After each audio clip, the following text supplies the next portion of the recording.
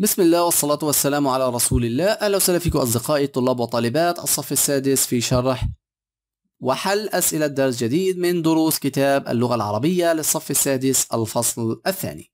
درسنا لليوم بعنوان طبيعة بشرية. طبيعة بشرية عبارة عن نص شعري. اليوم راح نقوم بشرح وحل أسئلة هذا النص. ولكن اولا إذا أنت مش مشترك في القناة بتمنى تشترك في القناة وتفعل جرس التنبيهات عشان تصلك الفيديوهات أول بأول. أيضا بتمنى تعمل like للفيديو و share لأكبر عدد من أصدقائك وعلى جميع مواقع التواصل الاجتماعي عشان تستمر القناة وما تتوقف. أيضا إحنا أضفنا وسيلة جديدة لدعم القناة عشان تستمر القناة في تقديم المحتوى المفيد لإلكو وهي الدعم عن طريق موقع ال Patreon. فأي حدا حابب يدعم القناة بإمكانه دعمنا عن طريق موقع ال Patreon. رابط الموقع حتلاقوه موجود في الوصف أسفل الفيديو. أيضا يا ريت تتابعونا على جميع صفحاتنا على مواقع التواصل الاجتماعي. الروابط كلها بتلاقوها في الوصف أيضا أسفل الفيديو. وبتمنى إنكم تطلعوا على الروابط الموجودة في الوصف أسفل الفيديو حتفيدكم كتير. وعشان ما نطولش عليكم خلونا نبدأ.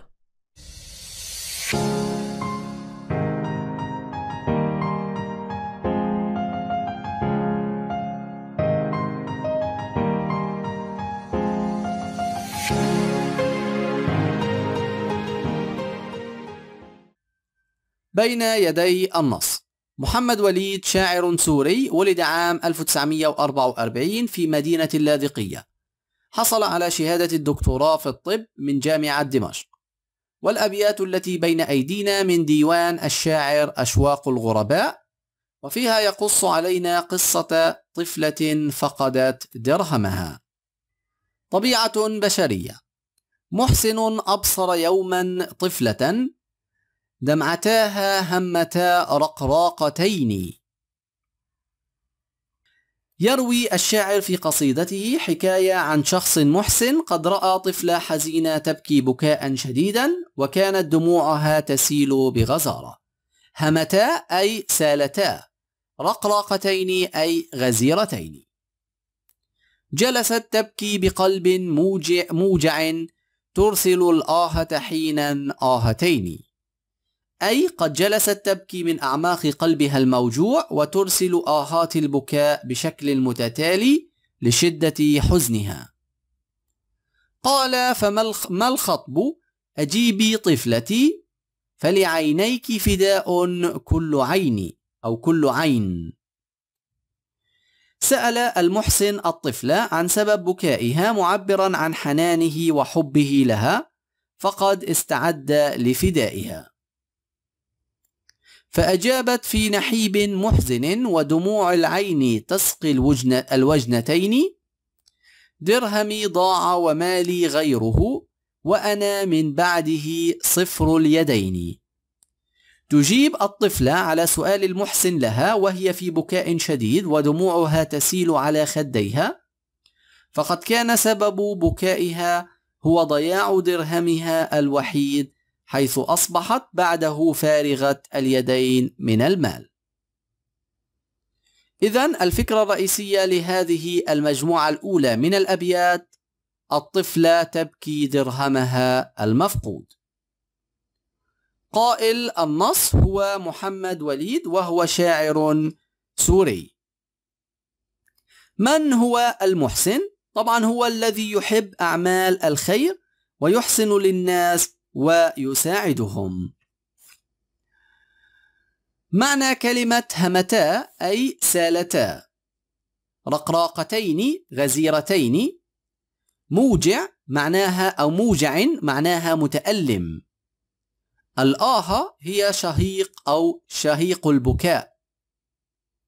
الخطب بمعنى المصيبة. نحيب هو البكاء الشديد. الوجنتين بمعنى الخدين. دموع العين تسقي الوجنتين. اشرح الجمال في العبارة السابقة. شبه الشاعر الخدود بالأراضي الزراعية التي تسقى. مضاد كلمة محسن مسيء.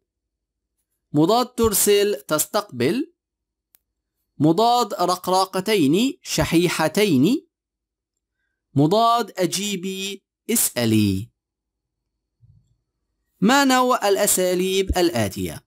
ما الخطب أسلوب استفهام؟ أجيبي بمعنى أو أسلوب أمر. ما لي غيره أسلوب قصر. جمع كلمة محسن محسنون. جمع الآها الآهات. على ما تدل العبارات؟ فعينيك فداء كل عين أو فلعينيك فداء كل عين. تدل على الحب الشديد للطفلة. صفر اليدين دلالة على نفاذ المال التام من الطفلة. ترسل الآهة آهتين دلالة على شدة الحزن الذي أصابها. قال هيا طفلتي لا تجزعي لا تراعي إن هذا الخطب هين هين. يحاول الرجل المحسن التخفيف عن الطفلة الحزينة فيطلب منها ألا تحزن ولا تخاف فإن الأمر بسيط. وحباها درهما في يدها ماسحا من كل عين دمعتين. أعطى المحسن الطفل درهما بديلا عن الدرهم المفقود ووضعه في يدها ومسح دموع عينيها. قال هيا أطلقي وجه الرضا وأريني بسمة أو بسمتين. يحث المحسن الطفل على نسيان ما حدث وأن تريه وجها آخر من السعادة والبسمة والسرور. طبعا الفكرة الرئيسية الثانية لهذه الأبيات هي المحسن يهب الطفل درهما أملا في ابتسامتها لماذا طلب المحسن من الطفلة أن تكف عن الحزن والجزع؟ لأن أمر الدرهم هين ولا يحتاج هذا الخوف والحزن والجزع. لا تجزعي لا تراعي طبعا على ما يدل تكرار النهي يدل على شدة الحزن والخوف الذي حل بالطفلة. معنى كلمة تجزعي أي تحزني. تراعي بمعنى تخافي أو تراعي بمعنى تخافي. هين بمعنى بسيط. حبى بمعنى أعطى. أطلقي وجه الرضا ما الجمال في العبارة؟ شبه الشاعر الوجه بطير حبيس يريد إطلاقه. مضاد تجزعي تفرحي مضاد تراعي أي تطمئني مضاد هين شديد مضاد أطلقي احبسي. عكس الرضا السخط. ماسحا من كل عين دمعتين على ما تدل العبارة تدل على الحنان والرحمة. لا تجزعي أسلوب نهي. إن هذا الخطب هين أسلوب توكيد. أطلقي وجه الرضا أسلوب أمر.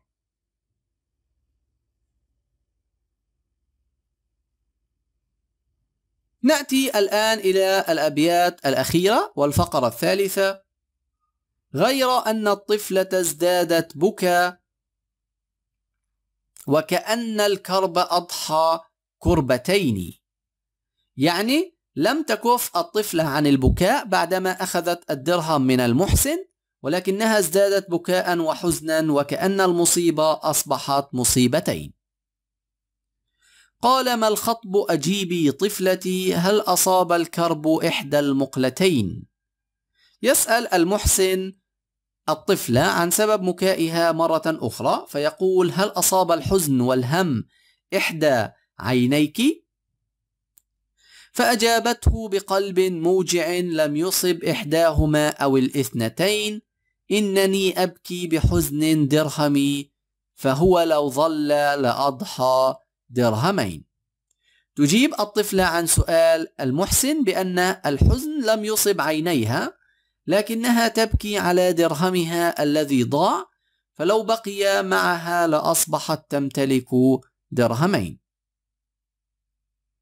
ما موقف الطفلة بعدما أخذت الدرهم من الرجل المحسن؟ ازدادت بكاء وحزنا. ماذا نسمي هذا الطبع؟ نسميه الطمع. ما موقف الإسلام من الطمع؟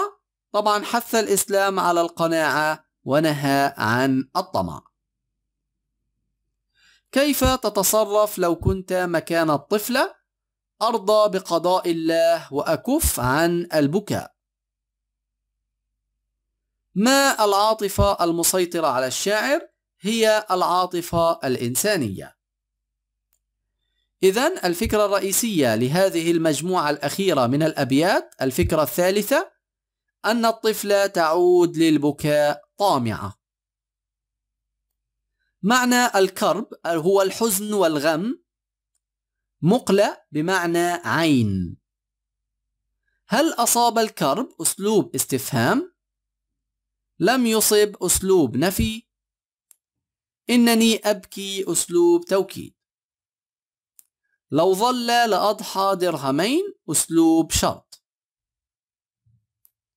عكس ازدادت نقصت جمع الكرب الكروب جمع مقلة مقل. نأتي الآن إلى حل أسئلة الكتاب. كيف كانت حال الطفلة حين أبصرها الرجل المحسن؟ كانت تبكي بقلب موجع وترسل الآهات ما الذي أبكى الطفلة أولا؟ الذي أبكاها أولا هو ضياع درهمها ولأنها أصبحت صفر اليدين ما الذي فعله الرجل المحسن ليخفف حزن الطفلة؟ حباها درهما في يدها ماسحا دموعها نستخرج من النص ألفاظا تدل على الفرح وأخرى تدل على الحزن. طبعا الألفاظ التي تدل على الفرح هي أطلقي والرضا وبسمة. بينما الألفاظ التي تدل على الحزن أبكي بحزن دمعتاها وتبكي وموجع والآه ونحيب ومحزن ودموع العين وصفر اليدين وتجزعي وكرب. يعني معظمها كلمات تدل على الحزن. عبر الرجل عن حنانه على الطفلة نعين ألفاظا وعبارات تدل على ذلك طبعا قوله لا تجزعي فداء لا تراعي هين حباها ماسحا أريني بسمة هيا طفلتي استغرب الرجل بكاء الطفلة في المرة الثانية لماذا؟ فقد ظن أن غما وحزنا أصابها ما المفاجأة التي حملتها إجابة الطفلة؟ كانت في أنها تبكي على درهمها الذي ضاع فلو بقي لأصبح درهمين ما الطبيعة البشرية التي يوحي بها عنوان القصيدة؟ هي الطمع. نصل بين الأسلوب اللغوي في العمود الأول ونوعه في العمود الثاني فيما يأتي. ما الخطب أسلوب استفهام؟ لا تجزعي أسلوب النهي أريني بسمة أسلوب أمر وربي أسلوب قسم. أصدقائي الأعزاء هيك بنكون انتهينا من شرحنا لليوم. بتمنى تعملوا like للفيديو تشتركوا في القناة إذا أنتم مش مشتركين وتفعلوا جرس التنبيهات. أيضا بتمنى تشاركوا الفيديو لأكبر عدد ممكن ولجميع أصدقائكم على جميع مواقع التواصل الاجتماعي. اللي حابب يدعم القناة إحنا فعلنا ميزة ال Patreon فكافة التفاصيل اللي بتقدروا تدعموا فيها القناة موجودة في الوصف أسفل الفيديو. أيضا يا ريت تطلعوا على الروابط اللي موجودة في الوصف أسفل الفيديو حتفيدكم كتير. في الختام سبحانك اللهم وبحمدك أشهد أن لا إله إلا أنت أستغفرك وأتوب إليك وإلى لقاء جديد.